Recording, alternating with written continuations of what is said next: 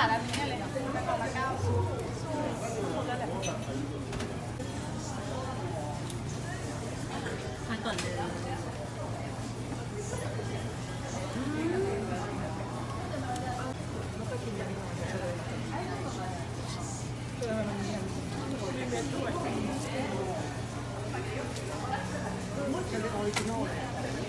กิไม่ไปถึงว่ากระเป๋ากระเป๋าคิวลิง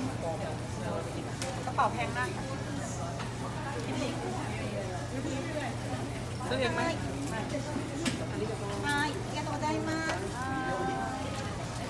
ก็วันนี้ช่วงเช้าอาจารย์ด่วนก็ให้พักผ่อนเต็มที่นะคะ recovery ทำกายภาพอะไรเงี้ยได้นอนเต็มที่ เพราะว่า 2 แมตช์ที่ผ่านมาก็หนักพอสมควร บ่ายวันนี้ก็เลยได้พักผ่อนได้แบบออกมาเดิน relax อะไรอย่างงี้ให้ผ่อนคลายสบายใจ อาการอ่อนล้าที่เห็นกายภาพกันหลาย ๆ คน น้องๆเป็นไงบ้างอ่าก็มันก็เกมมันหนักกันเนอะก็ก็ต้องก็ต้อง recovery ให้ดี แล้วก็กิน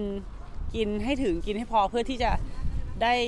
ฟื้นกลับมาได้เร็ว ก็ดูแล้วหลังจากได้นอนไปเมื่อคืนกับเมื่อเช้า ทุกทุกๆคนก็ดูสดใสแข็งแรง พอบอกว่าจะได้ออกมาเดินเล่นข้างนอกโอ้ยดีดามากเลยค่ะ แต่ละคน นัดพรุ่งนี้กับจีนีแดดมองไว้ว่ากัดแค่ไหนคะก็ไม่ใช่เรื่อง ง่าย เพราะว่าเขาเขาเองจากที่นั่งดูเนี่ยเขาเองก็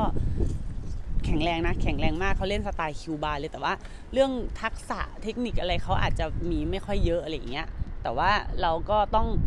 ทำของทีมเราให้ดีคือต้องอย่างแรกเลยต้องฟื้นฟูสภาพร่างกายกลับมาให้แบบให้มันเฟรชให้ได้ค่ะ ก็มองว่าจะพยายามจะพยายามเก็บชัยชนะให้ได้ในวันพรุ่งนี้เพื่อที่เพื่อความสบายใจของทีมเราที่จะได้ไม่ต้องไปแบบ